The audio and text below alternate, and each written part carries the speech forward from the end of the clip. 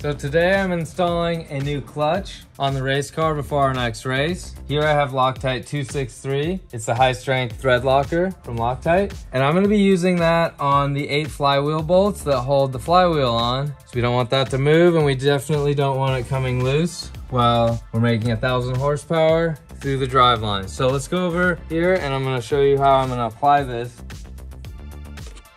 so now we're gonna apply the high strength Loctite thread locker to these eight ARP bolts before we go install the flywheel. And I want to apply just a small amount to the front, probably 3 eighths or a little less than that even, front portion of the bolt. Just want a small strip on there that's plenty. And a little bit goes a long way with this stuff. And you just need it to get on the portion of the threads that you need. And you definitely don't want to go too much and have it trying to spray out the back and be on the shoulder of the bolt, which will then end up getting almost into your clutch. So don't put too much on there.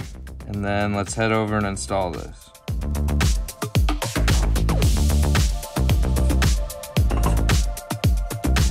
So I just brought one with me so this guy won't fall. I'm gonna go grab the other ones. Just install them all by hand before you go get your other tools.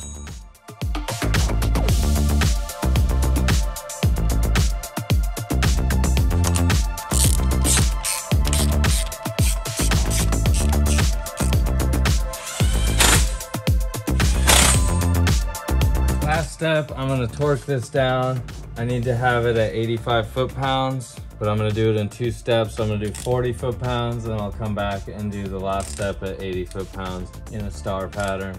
In professional drifting, you only get a short amount of time on track to perform. The last thing you want is your car to let you down, a bolt to back out causing your equipment to let you down.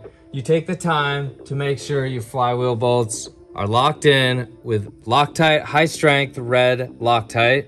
It's my go-to for my flywheel bolts because it's proven itself time and time again, so I can guarantee my equipment's not gonna let me down.